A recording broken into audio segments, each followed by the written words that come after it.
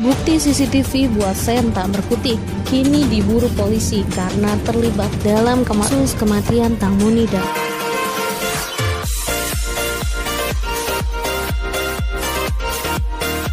Pengadilan Provinsi Nontaburi akhirnya mengeluarkan surat penangkapan bagi salah satu saksi kunci dalam kasus kematian Tang Monida, yakni Sen. Sen diketahui berbohong karena mengatakan jika Tang Monida jatuh ke sungai dan tewas saat hendak buang air kecil. Tak hanya itu, Sen mengatakan jika sebelum Tang Monida jatuh, ternyata Mo sempat memegang kakinya. Namun dari CCTV yang didapat, ternyata diketahui tak ada bayangan saat di anjungan speedboat yang menurut Sen tempat di mana Tang Monida tidak hendak buang air. Selain itu, pengadilan Taburi juga menetapkan Sen sebagai tersangka dalam kasus kematian Tang Moni karena dinilai lalai saat berada di atas speedboat. Lalaiannya tersebut kemudian menyebabkan Tang Monida tewas. Sen menjadi salah satu saksi yang cukup gencar dipertanyakan oleh banyak orang terkait kasus kematiannya Tang Monida. Asalnya, dalam keterangan Sen pada pihak penyidik ia diduga masih melakukan kontak fisik, di mana Tang Monida memegang kaki dirinya saat buang air kecil. Namun,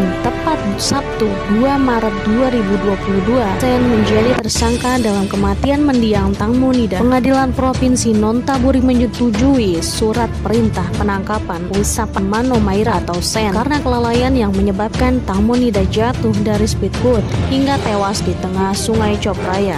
Dilaporkan bahwa Pengadilan Provinsi Nontaburi mempertimbangkan permintaan petugas investigasi, kemudian disetujui perintah penangkapan nomor 162 garis miring 2565 tanggal 2 April 2022 perintah untuk menangkapan sebagai tersangka ketiga dalam dugaan pelanggaran bertindak sembrono dan perbuatan itu menyebabkan kematian orang lain. Sen menjadi orang ketiga yang menjadi tersangka dalam kematian Tang Munida, penyusul Por Robert dan sebelumnya telah didakwa dengan kasus kelalaian dalam mengemudi.